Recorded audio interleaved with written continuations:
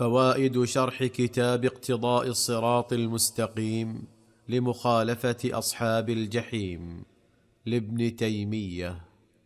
قال صلى الله عليه وسلم ولهن عليكم رزقهن وكسوتهن بالمعروف.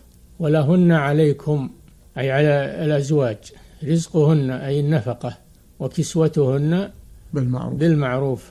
لم يقدر صلى الله عليه وسلم النفقة ولم يقدر الكسوة. آه، الكسوة لأن هذا يخضع إلى عرف الناس. عرف الناس في كل زمان ومكان بحسبه وبحسب الغنى والفقر والتوسط. وهذا من حكمة الشارع أنه في هذه الأمور لا يضع لها حدا آه، فاصلا لأنها تخضع لاختلاف الزمان والمكان والأحوال فأوكلها إلى العرف إلى ما يتعارف عليه الناس نعم.